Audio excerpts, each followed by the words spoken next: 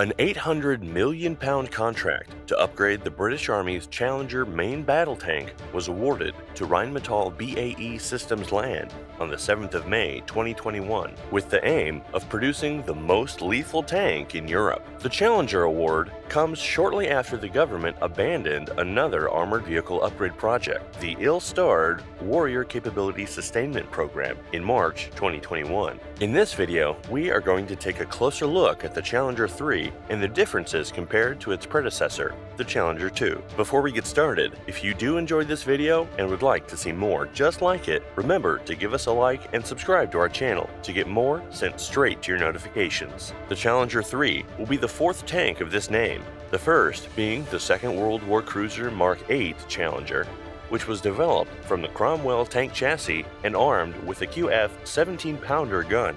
The second was the Gulf War era Challenger 1, which was the British Army's main battle tank from the early 1980s to the mid 1990s when it was succeeded by the Challenger 2 which saw action following the Iraq War in 2003. The Challenger 2 main battle tank was state of the art 25 years ago, but it definitely needed a new lease on life. The biggest problem of the Challenger 2 was that it used rifled gun barrels. Rifled barrels produce more friction for the munitions and reduce the power of the round fired.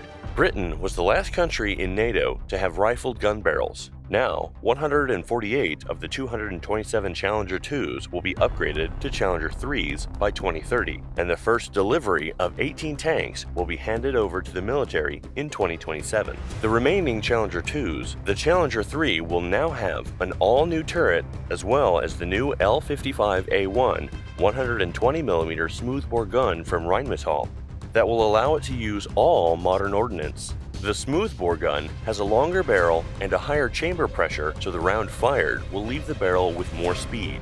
That added punch will make it more deadly on the battlefield. The higher chamber pressures associated with the L55A1 will allow Challenger 3 to fire newer ammunition types, such as armor-piercing discarding sabot, DM33, DM43, DM53 kinetic energy penetrator, and a DM63. The second armament consists of one coaxial 7.62mm L8A2 machine gun, which is mounted to the left of the main armament, and a 7.62mm L37A2 machine gun that can be mounted at the commander's cupola.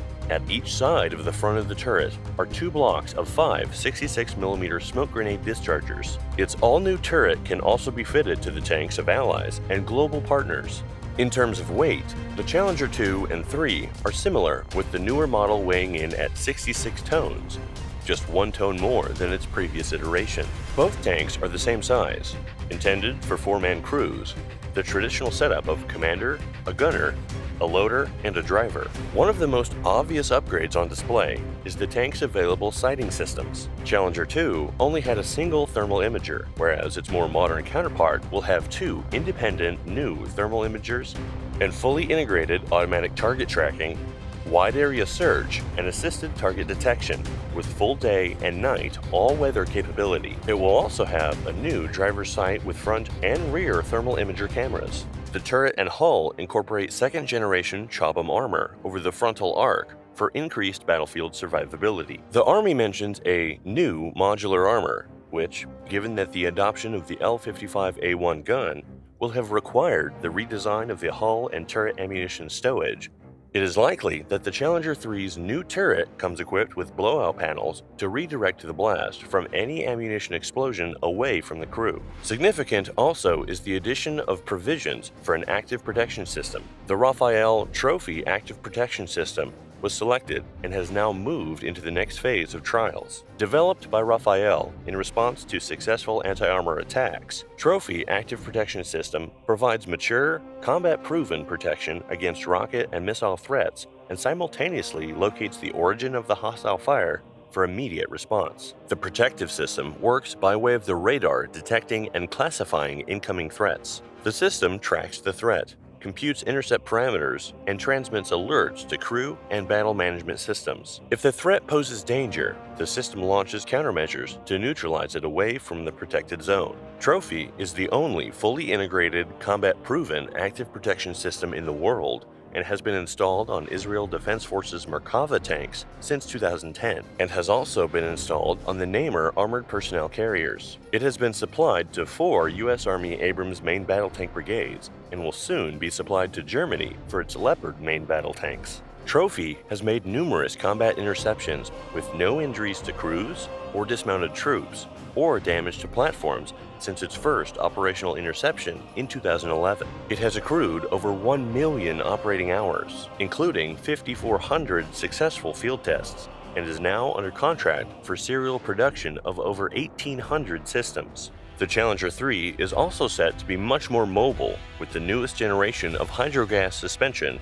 and an upgraded CV12-8A engine with improved cooling and adding up to a reduced through-life cost. Not only was Challenger 2 less mobile, operating the previous generation of hydrogas suspension, but it also has a noticeably higher through-life cost, being less efficient and more expensive to run. The Ministry of Defense says the new main battle tank will have a surprising top speed of 60 miles per hour and a cruising range of over 300 miles, compared to the Challenger 2's speed limit of around 37 miles per hour and cruising range of 340 miles. One of the most lauded changes is that the Challenger 3 tank will be fully digitized, with new features improving communication and data sharing with other vehicles, intelligence, surveillance, target acquisition, and reconnaissance assets, such as drones, during future deployments.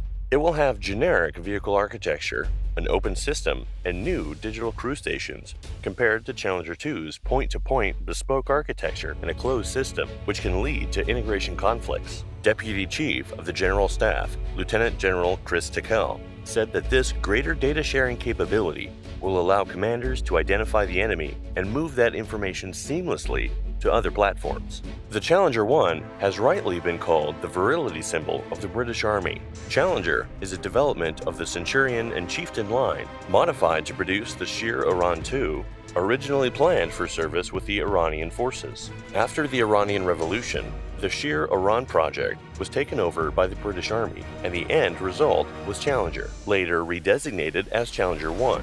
The main differences between Challenger 1 and its predecessor Chieftain is the engine, which is far more powerful, and the Chobham armor, which gives very high protection levels against anti-armor weapons.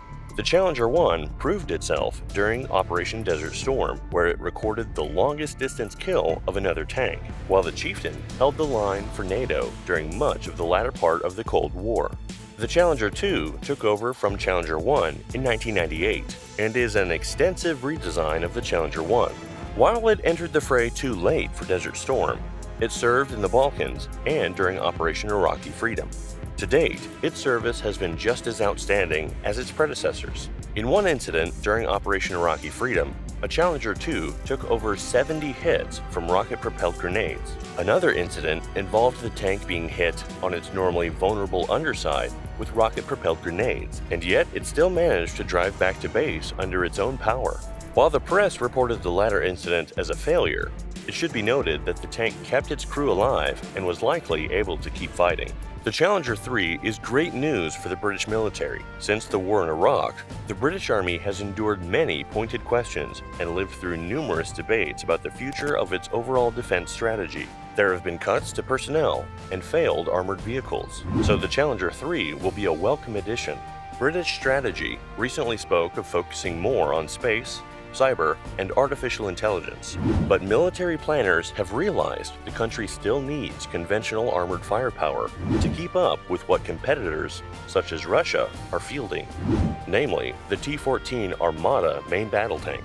The upgrades are planned to keep Challenger 3 in service until at least 2040, by which time a potential replacement in the shape of the Franco-German Main Ground Combat System program is planned to have reached full operational capability.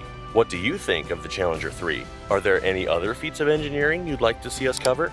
Let us know in the comments below. If you enjoyed this video, don't forget to give us a like and subscribe to our channel to get our latest videos straight to your notifications. Thanks for watching.